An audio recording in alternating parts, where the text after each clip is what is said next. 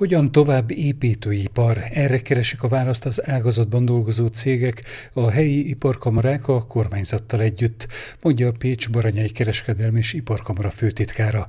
Nemrég találkozót tartottak a szereplők Pécsen, hogy megfogalmazzák ajánlásaikat.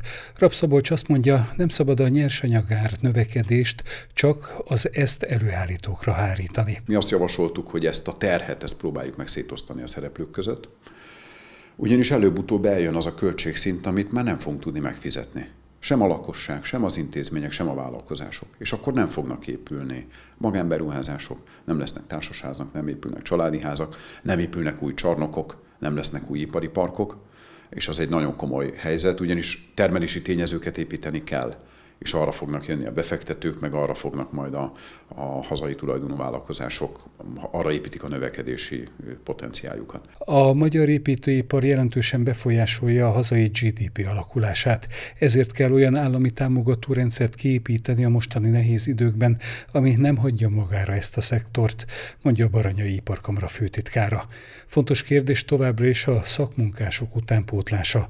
Ebben segít egy új szerveződés Baranyában is szeptembertől a megyében rendelkezésre fog állni ez az ágazati képzőközpont az építőipar számára, ahol a cégek összefogva ö, fogják a fiatalokat fogadni, és fogják a legmodernebb, legújabb technológiákkal megtanítani az építőipar minden egyes ágazatára, szakmájára.